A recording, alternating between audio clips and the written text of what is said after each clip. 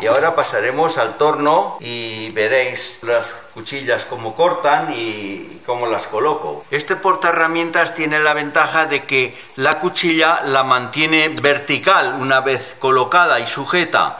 Lo podemos comprobar con el nivel. Si lo ponemos por este lado, nos da un ángulo positivo de corte y si lo pongo por el otro, pues da el mismo ángulo positivo. Este herramientas que tengo puesto, que es el que mejor me va, si le ponemos el nivel por esta cara, nos da un buen ángulo positivo de corte. ¿Veis cómo queda la burbuja? Sin embargo, si la ponemos por este otro lado, prácticamente queda totalmente vertical el plano de la cuchilla. Es decir, que por esta otra cara no tenemos ángulo positivo. Resulta que la cuchilla la tumba hacia, hacia este lado de aquí, hacia el, plato tal como la tengo situado.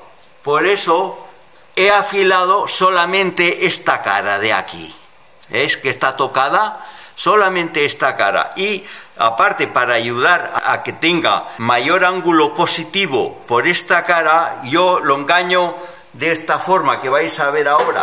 Le pongo esta chapita. Esto es hoja de lata. ¿Lo veis cómo es? Esta chapita va puesta aquí así y esto le ayuda un poquito a, que tenga un ángulo positivo la cuchilla, tal como está ahora y ahí la aprieto. Ahora ponemos otra vez el nivel, por esta cara tiene ángulo positivo y por esta también tiene, ¿veis? Tiene su ángulo positivo para poder cortar.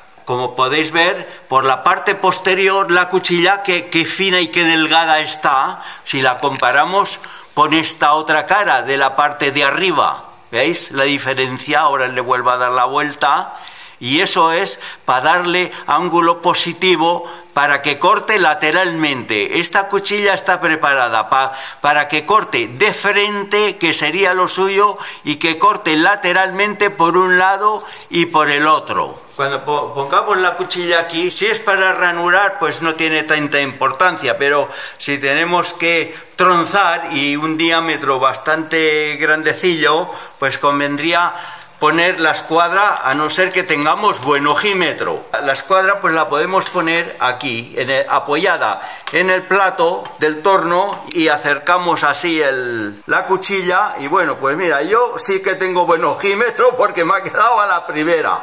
Me ha quedado bien, ¿lo veis? ¿Cómo queda? La escuadra con la cuchilla lo podemos hacer con el plato o si el material es largo, pues lo podemos apoyar sobre el mismo material y también pues sería lo mismo, ¿eh? Lo mismo. Y eso sí, también las cuchillas, no lo he dicho, pero tienen que estar a la altura del centro, ¿eh? Al punto.